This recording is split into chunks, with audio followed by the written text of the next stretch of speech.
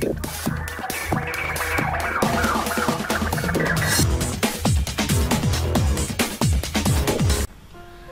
Viewers, বিনোদন জগতের সব খবর নিয়ে আপনাদের সঙ্গে এই মুহূর্তে রয়েছে। আমি রিপোর্টার কুসুম বন্ধুরা। আমাদের ঢালিউড কুইন অপু বিশ্বাস, এই মুহূর্তে সাংবাদিকদের মুখোমুখি হয়ে যে কথাগুলো বললেন, সেগুলো সত্যি অনেক বেদনাদায়ক। তিনি বললেন, আপনারা অনেক সময় ছোট বাচ্চাদেরকে নিয়ে অনেক প্রশ্ন করেন।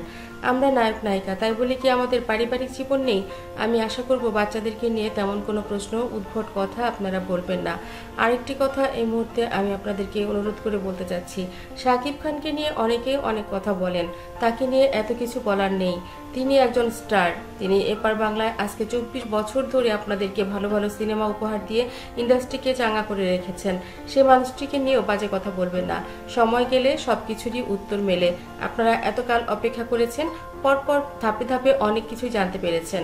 হয়তো ভবিষ্যতেও অনেক কিছু জানতে পারবেন। আর তাই তাকে নিয়ে বাজে মন্তব্য, বাজে কথা না বলে তাকে কাজ করার সুযোগ দিন।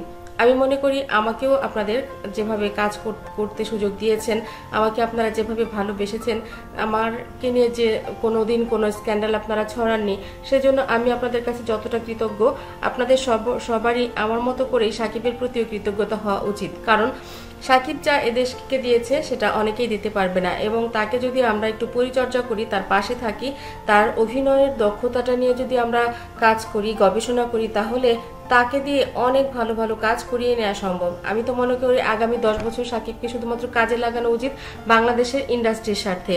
কারণ এখন মানুষের অনেক কিছু রয়েছে। এখন শুধুমাত্র একটা বিটিভি বা একটা চ্যানেল নেই। এখন যেটা আছে, সারা বিশ্বে অ্যামাজন আছে নেটফ্লিক্স আছে ও ওয়েব সিরিজ রয়েছে। এছাড়া কত মজার মজার চ্যানেল, ভিডিও সব কিছু রয়েছে। তো এত কিছুর ফাঁকেও যখন মানুষ বাংলা সিনেমা দেখতে হলে ঢুকে, সেটা শুধু সাকিবের জন্যই ঢুকে। সাকিবিয়ানরা প্রমাণ করে দিয়েছে, সাকিবের সিনেমা মানেই হিট। তাহলে এই মানুষটিকে আপনাদের কি করা উচিত? এই মানুষটিকে মাথায় করে রাখা উচিত। তার দোষ, ত্রুটি, ভুল, এগুলোর পিছনে না তাকিয়ে থেকে তাকে দিয়ে কি করানো যায়, তাকে কীভাবে ভালো রাখা যায়, তাকে কি কোন কাজ দিয়ে, তার কাছ থেকে কাজটা আদায় করে নেওয়া যায়, প্রযোজক, পরিচালক, তাদেরকেও আমি বলব যে আপনারা মেধা খাটান, মাথা খাটান, এই মানুষটিকে কাজে লাগান।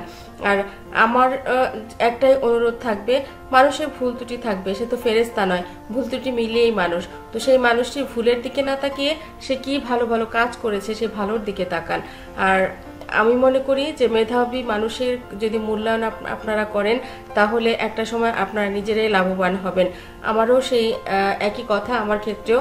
আমার যতটুকু যোগ্যতা আছে, আমি মনে করি আমাকেও অনেকেই সেই জায়গাটুকু থেকে আমাকে দিয়ে অভিনয়টা করিয়ে নিতে পারেনি। তবে ভবিষ্যতে আমি ইচ্ছা করব ভালো ভালো স্ক্রিপ্ট ভালো ভালো গল্প যেগুলো এখনও কাজ করা হয়নি, সেই ধরনের কাজে, সেই ধরনের কাজগুলো করতে নিশ্চয়ই সেটাও আমি খুব তাড়াতাড়ি শুরু করব।